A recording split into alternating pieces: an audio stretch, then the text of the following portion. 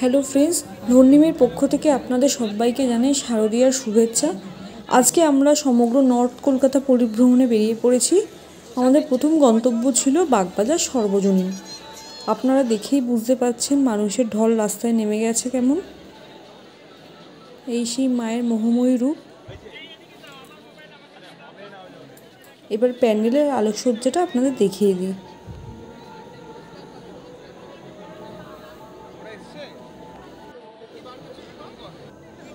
মায়ের এই সাবেকি রূপে আমরা সকলেই খুব পরিচিত। মায়ের এই সাবেকি রূপই আমাদের মনকে মুগ্ধ করে তোলে। এরপর আমাদের পরবর্তী গন্তব্য ছিল কুমোরটুলি সার্বজনীন।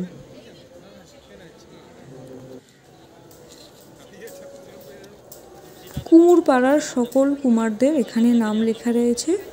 এটাই এবারে কুমোরটুলি সর্বজনীনের থিম দেখুন, এখানে সমস্ত শিল্পীর নাম লেখা আছে।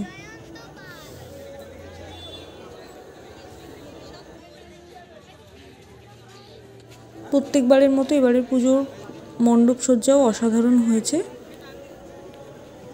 চলুন এবার আস্তে আস্তে মাকে দর্শন করে নিই।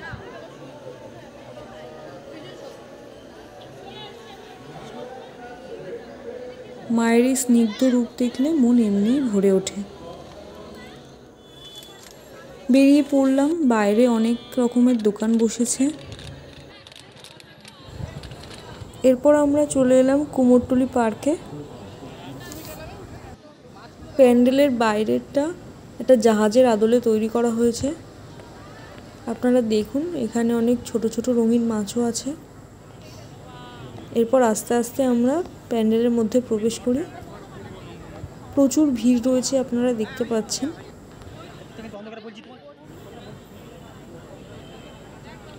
দেখুন, সামনে অনেক ভিড় রয়েছে। অনেক দূর দূরান্ত থেকে দর্শনার্থীরা এসেছে মাকে দেখতে। এবার আমরা আস্তে আস্তে মূল প্যান্ডেলে প্রবেশ করছি।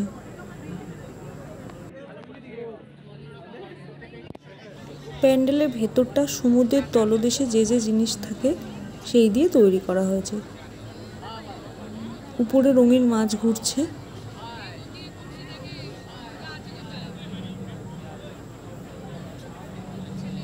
এই পাশে দেখুন অ্যাকোরিয়াম তৈরি করা হয়েছে। এতে সব সামুদ্রিক কীটপতঙ্গরা আছে। জায়েন্ট স্কিনে সমুদ্রের তলদেশের সব অংশগুলো দেখাচ্ছে।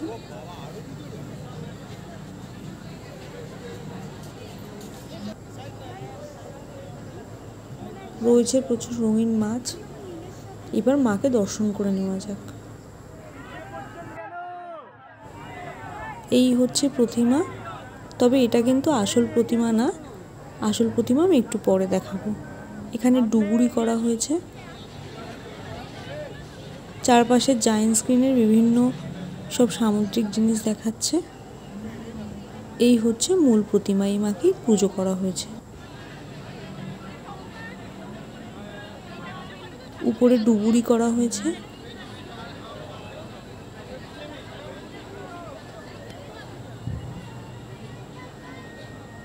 এবার আস্তে আস্তে আমরা এই প্যান্ডেল থেকে বেরিয়ে যাব।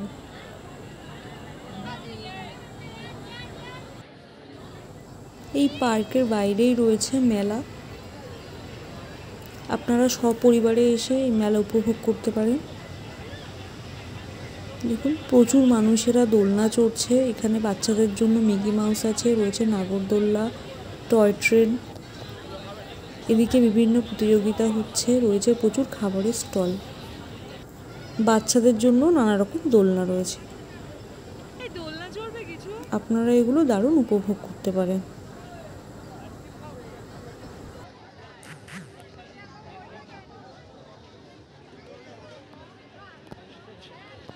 এবার আমরা আস্তে আস্তে এগিয়ে গেলাম শোভাবাজার রাজবাড়ির দিকে।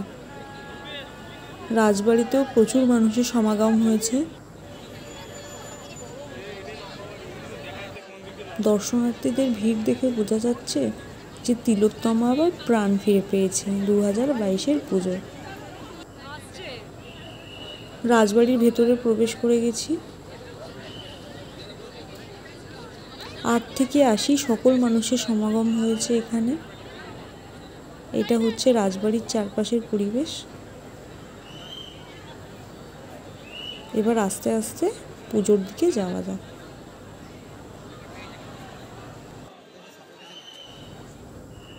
এটা শোভাবাজার রাজবাড়ির দুর্গা প্রতিমা। এই সেই দুর্গা দালান।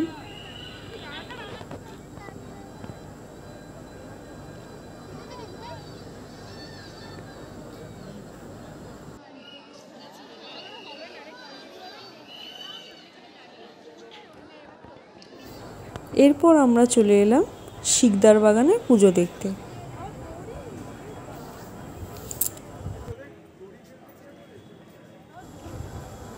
এখানে পাট দিয়ে প্যান্ডেল করা হয়েছে।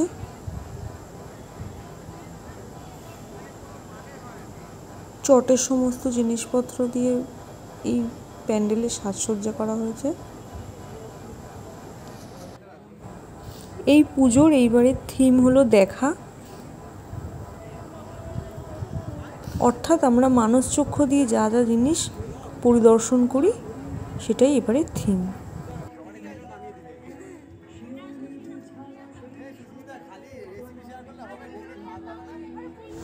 এবার প্যান্ডেলের মধ্যে প্রবেশ করছি। দুপাশে চোখের মনির আদলে এই প্যান্ডেলের ডেকোরেশন করা হয়েছে।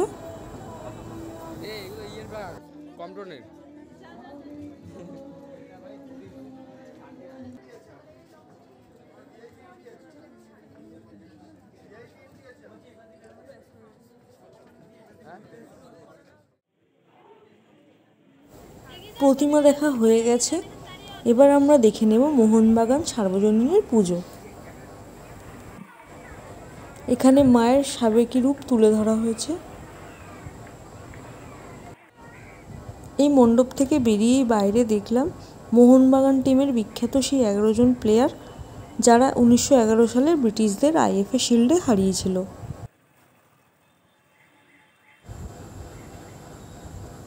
এবার আমরা সকলে মিলে চলে এসেছি নবপল্লীর পুজো দেখতে। অসাধারণ আলোকসজ্জা করা হয়েছে।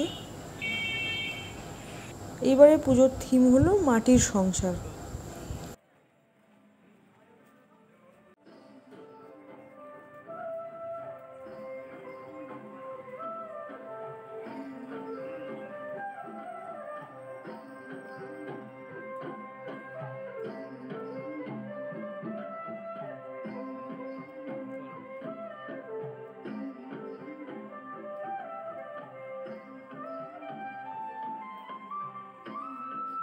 মাটির পুতুল দিয়ে মণ্ডপ সজ্জা করা হয়েছে।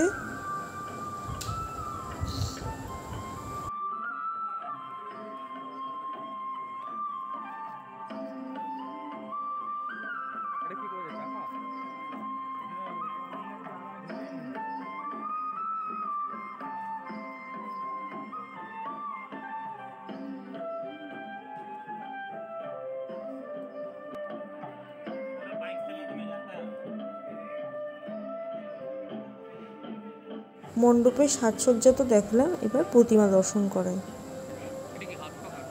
উপরে হাত পাখা দিয়ে সাজানো হয়েছে। নবপল্লীর পুজো দেখে আমরা আজকের মতো পরিভ্রমণ শেষ করব। আপনারাও সপরিবারে এই প্যান্ডেলগুলো ঘুরে আসুন।